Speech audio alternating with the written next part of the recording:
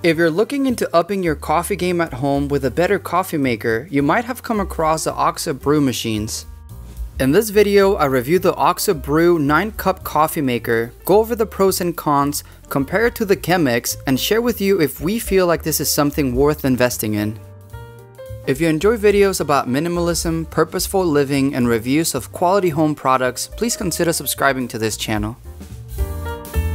We've been brewing our morning coffee with the Chemex for over 5 years now, and while we love the routine and especially the flavor of our coffee, with a toddler and a newborn at home, we were looking into a machine that could help us make our morning coffee routine easier, but without compromising the taste. At $200, this machine is definitely pricier than what most people would spend on a coffee machine, especially compared to a $40 Chemex like ours, but with so many great reviews online, we decided to give it a try.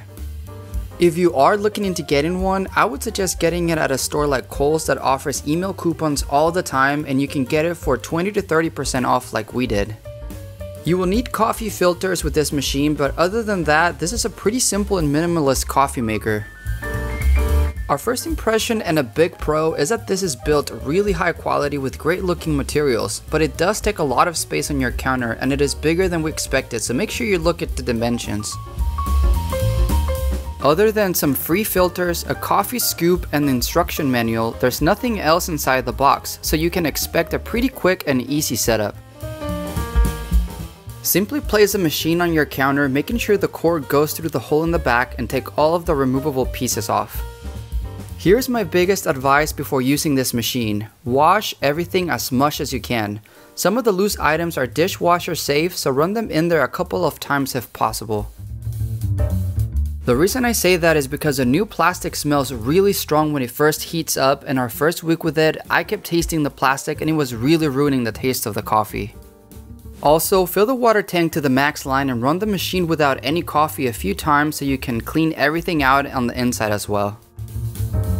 There's only one button on this coffee maker and you can click once to turn on, then turn left or right depending on the number of cups you're making and you click once more to start brewing.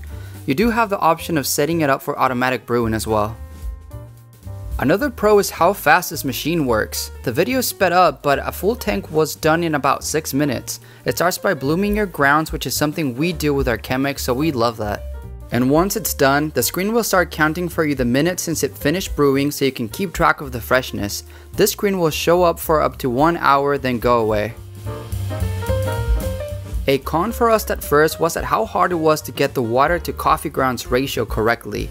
The manual recommends one full scoop per cup, but that was extremely strong for our taste, so we wasted a few bags of coffee and had unpleasant morning coffee for the first 2 to 4 weeks before we finally got it right. We also noticed a weird clicking noise every time our coffee is brewing, but I have no idea what is causing that.